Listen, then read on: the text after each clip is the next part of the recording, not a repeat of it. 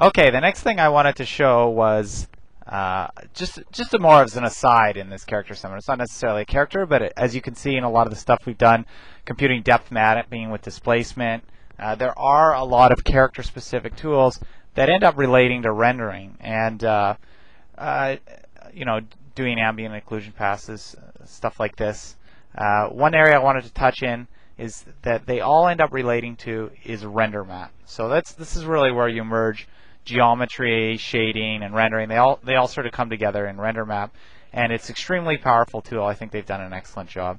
The other thing, I won't get into final gathering too much. Anyone who use plays with XSI even a little bit becomes addicted to final gathering really really quickly. Um, in this, I'm just using an image here. This is lighting. I even have it sideways. I, I just kind of rotate them around until I get a look that I like.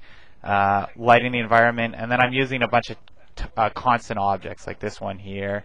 These objects uh, have an image driving the radiance, so they act as light sources. Same with this little clear area here. They act as light sources in final gathering. So if I go do a rendering here. And uh, we've also added a whole bunch of new features to render map. So you can see you can get some pretty some pretty cool subtle effects uh, using object-based lighting. So if I go in this and I want to render map it, there's a whole bunch of new uh, new much tools have added, added in here. You can have non-square images. You can have set the final gathering smoothness. You can do final uh, you can do color correction right off of it.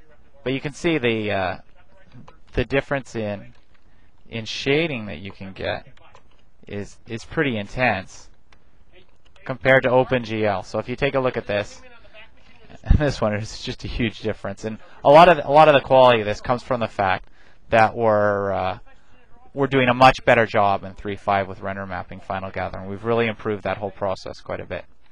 So anyways, just a quick aside, and that's it.